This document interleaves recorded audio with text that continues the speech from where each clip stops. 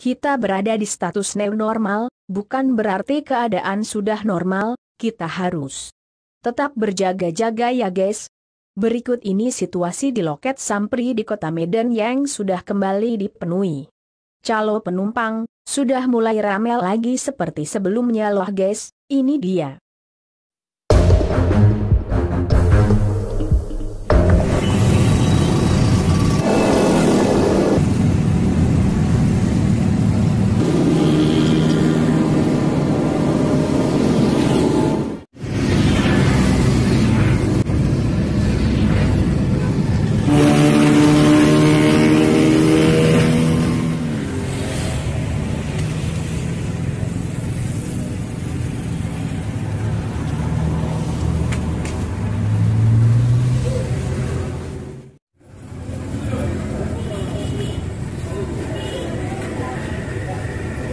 Jam